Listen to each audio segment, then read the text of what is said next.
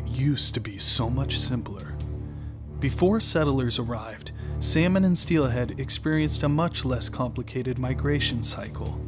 The journey was certainly miraculous in its own right, but humans and their needs changed the migration of fish forever. Before our encroachment, anadromous fish were not challenged by dams, culverts, commercial gill nets, flood control systems, logging, mining, irrigation operations, modern infrastructure, or the now protected predators that are ravaging our fish. These man made obstructions have created a massive impact on their survival. Historically, the natural unfettered cycle resulted in unprecedented abundance. Then settlers arrived, drawn to rivers swollen with year round runs of salmon. They built major towns and developed suburbs over habitat where salmon once flourished. With the advent of canning techniques and worldwide demand, runs were quickly overfished. The first cannery was built on the lower Columbia in 1866, resulting in an estimated 275,000 pound catch of Chinook. Four years later, Chinook harvest on the lower Columbia had increased to an astounding 10,200,000 pounds of canned Chinook. Before the beginning of the 20th century, a decade before hatcheries were even a consideration, the Columbia's runs, estimated to have once numbered somewhere between 12 and 17 million fish, were in peril. As a result, hatcheries were built to compensate for overharvest created by the invention of the can and the disruption of hydropower on migrating fish. Today, we are fighting for the very hatcheries that prevented the extinction of wild stocks. Hatchery operations and methodologies are being modernized, and old, less effective practices are being phased out.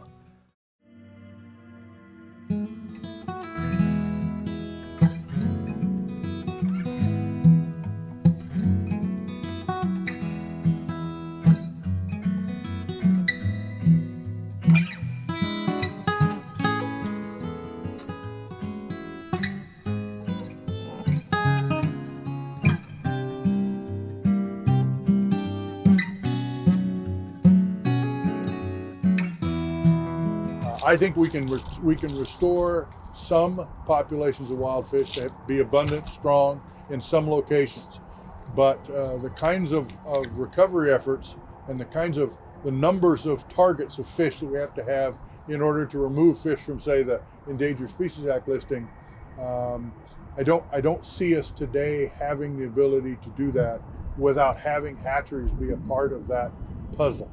Salmon have been a part of the West since time immemorial. Uh, when Lewis and Clark came out here uh, in the early 1800s, they came to an area where the rivers were teeming with fish.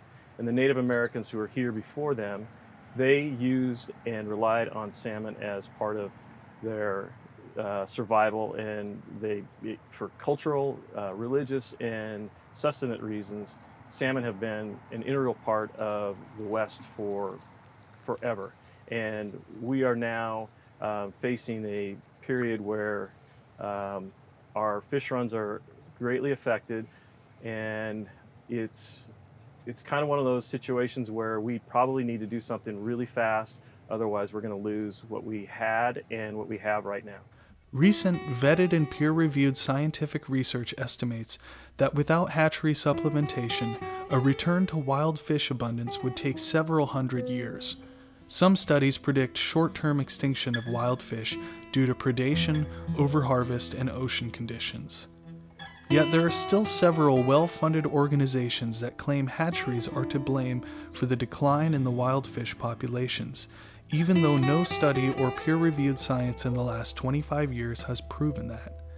Hatcheries are under attack from organizations like the Wild Fish Conservancy, Native Fish Society, and large, deep pocketed corporations like Patagonia based in Southern California. Anti hatchery rhetoric often relies on select, outdated science and patently false statements. There are many myths propagated by these anti hatchery organizations, including hatchery fish are no different than open water farm fish raised in a pen. Hatchery fish are genetically flawed and inferior. Hatchery fish compete with wild fish on the redds. Hatchery fish are slowing wild fish recovery, eliminating hatchery runs would have no significant economic impact on the Pacific Northwest. We invite you to visit our website for the science and data to support the fact that none of the aforementioned statements are true. Where would we be without hatcheries? Wild fish are important. Important that we maintain the habitats that support wild fish so they can continue to evolve genetically to fit and survive in those environments. Hatchery fish are important because we want fish to catch and, and harvest. And it's a fact that a lot of these hatchery programs are dependent upon wild fish. If we implement these more modern broodstock programs where we're using in-basin genes only, I think we're only going to enhance and improve our, our wild stocks, as well as offer opportunity for people to harvest some fish every now and then too. And if we aren't able to harvest some fish from time to time, people are really going to lose interest. In reality, hatcheries have helped prevent extinction. Today, most runs are at historic lows and are hemorrhaging due to natural and man made developments we can't control. Hatchery fish supplementation and broodstock programs continue to be crucial to the battle against extinction of our hatchery and wild fish populations. Scientific analysis has determined that salmon reared for a single generation in a hatchery do not reduce the fitness of wild fish, and use of in basin stock is now considered best practices. In Washington, 75% of salmon harvested in Puget Sound and 90% of steelhead statewide are hatchery fish. 90% of salmon and steelhead swimming in the Columbia come from hatcheries. These are very important numbers.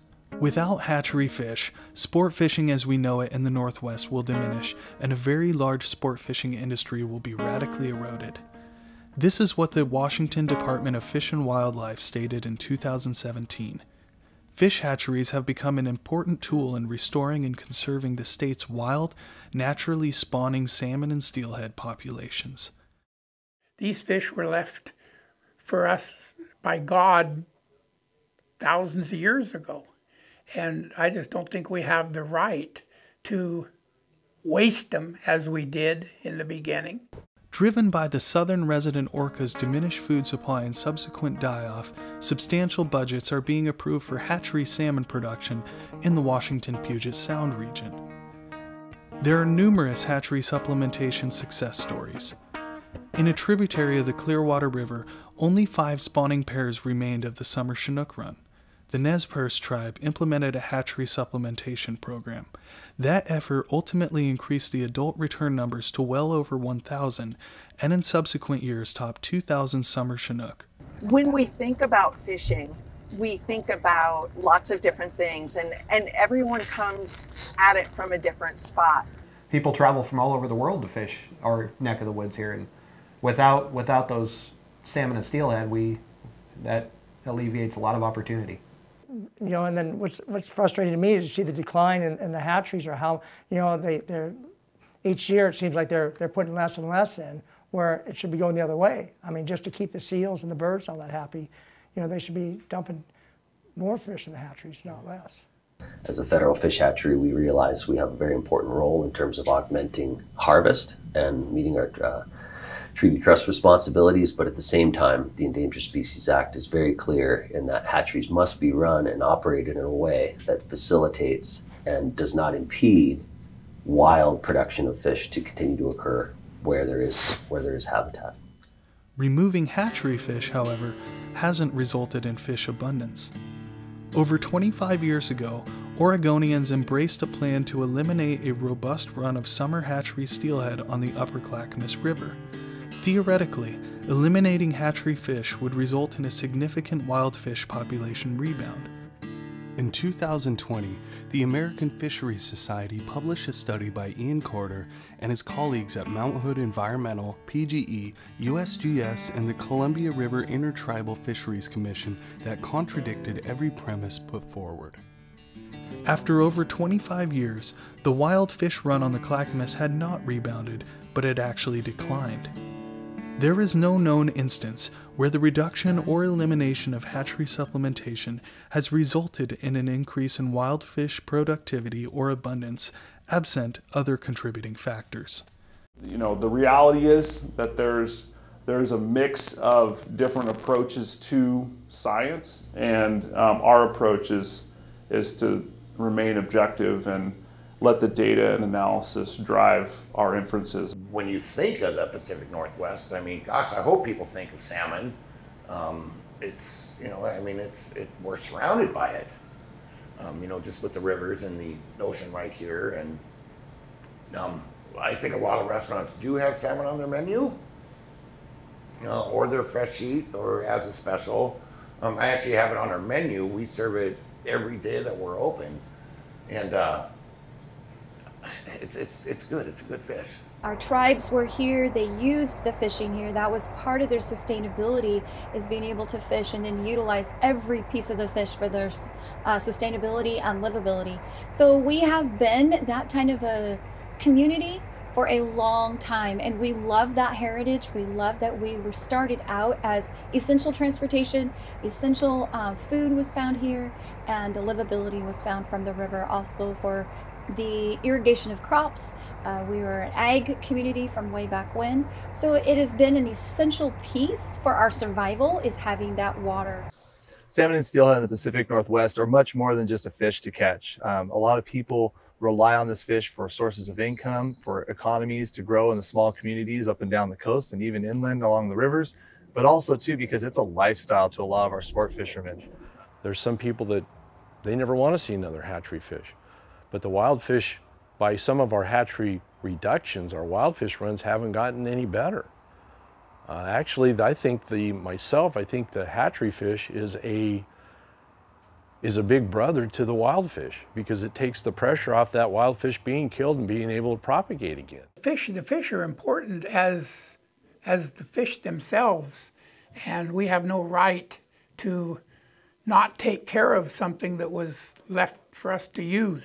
We don't want to operate our hatcheries in a way that's going to negatively impact wild fish, wild genetics, and at the same time, absent absent hatchery fish, there's a lot of um, opportunity that's lost in terms of our ability to fish. Absent hatcheries, we wouldn't be fishing in Washington right now. Absent hatcheries, as I mentioned earlier, um, we would probably have lost some stocks. They would have blinked out already.